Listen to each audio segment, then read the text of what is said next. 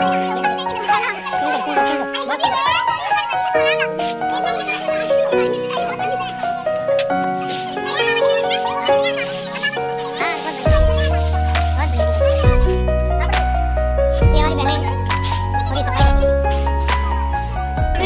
मेरा नाम है। हम यहाँ जितने भी हैं मेरी छोटी बहन है ये हम यहाँ पे मंदिर में आए थे और हमने देखा यहाँ पे बहुत गंदा हो रखा है। हमने यहाँ पे सफ़ाई करने का सोचा। यहाँ पे क्या करते हैं कोई भी लोग आते हैं वो यहाँ पे आ, कुछ खाते हैं जैसे कुछ चिप्स पेप्सी कोल्ड ड्रिंक जो भी पीते हैं वो यहीं पे फेंक के चले जाते हैं। उनको एक काम करना चाहिए तो अपने जो बैग है अपना जो एक बैग कैरी करना चाहिए उसमें बैग में रख के अपने साथ लेके चले जाना चाहिए या कोई भी डस्टबिन हो हमें वो कूड़ा वहाँ पे फेंकना चाहिए। अच्छा नहीं लगता है हमारी हमारा ये हमारी संस्कृति भी नहीं है ये मंदिर है यहाँ पे कोई भी आता है जब अगर गंदा दिखता है तो अपना ही मन अजीब सा होता है थोड़ा सफ़ाई देख के कोई भी यहाँ पे आकर्षित होता है।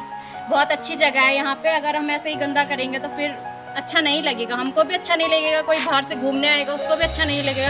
इसलिए प्लीज़ यहाँ पे सफ़ाई रखें अपने आसपास भी सफ़ाई रखें आप कहीं भी कहीं भी जाते हैं अपना एक बैग कैरी करिए वहाँ पे जो भी आप कचड़ा पॉलीथीन वो है उसमें रख के आप कहीं पे डस्टबिन दिखना आप उसमें डालिए। थैंक यू थैंक यू मेरा नाम कंचन गुसाई है मैं ग्राम चौंडी से हूँ और मैं यहाँ पहली बार आई हूँ और यहाँ बहुत ज़्यादा गंदगी हो रही थी हर जगह कचरा कचरा फैला रखा था तो हम सबने मिलकर यहाँ पे झाड़ू मारा सफ़ाई करी और बस।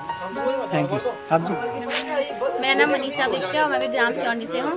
हम यहाँ ऐसी मतलब दर्शन करने आए थे भगवान जी के पहले भी आते थे पहले इतना गंदा नहीं रहता था लेकिन बहुत अफसोस हुआ कि अब यहाँ पे इतना गंदा हो रखा था और मंदिर के अंदर भी इतना गंदा हो रखा था बहुत ज़्यादा गंदा। फिर हम साफ़ कर रहे हैं। थैंक यू बहुत अच्छा काम किया हेलो मैं हूँ मीनाक्षी बिष्ट हम यहाँ मंदिर में भगवान जी के दर्शन करने आ रहे थे और हम भोले बाबा के बहुत बड़े भक्त हैं। हम ये चाहते हैं कि मंदिर साफ़ ही रहे हमेशा बहुत अच्छी बात है। हम रोज नमस्ते जय देवभूमि। हम यहाँ पे मंदिर में दर्शन करने आए थे लेकिन हमने देखा कि यहाँ पे बहुत पत्ते गिरे हुए थे।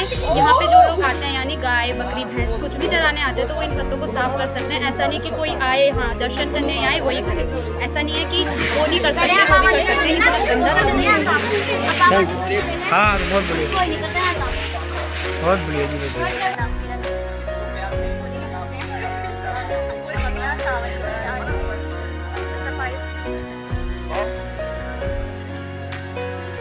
ये बच्चे हमारे जो है ग्राम चौंडी से आए हैं।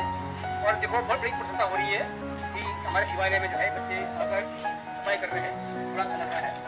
ज़रूर इनके अंदर जो है उनके माँ बाप के संस्कार हैं। ये तो कोई दूसरा बच्चा कहता है कि यार जो है पेट खराब हो जाएगा तबीयत खराब हो जाएगी ध्यान खराब हो जाएगा।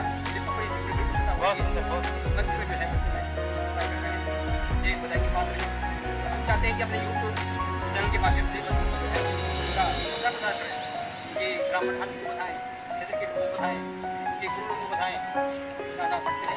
बड़ी प्रसन्नता होती आपको है। कि बात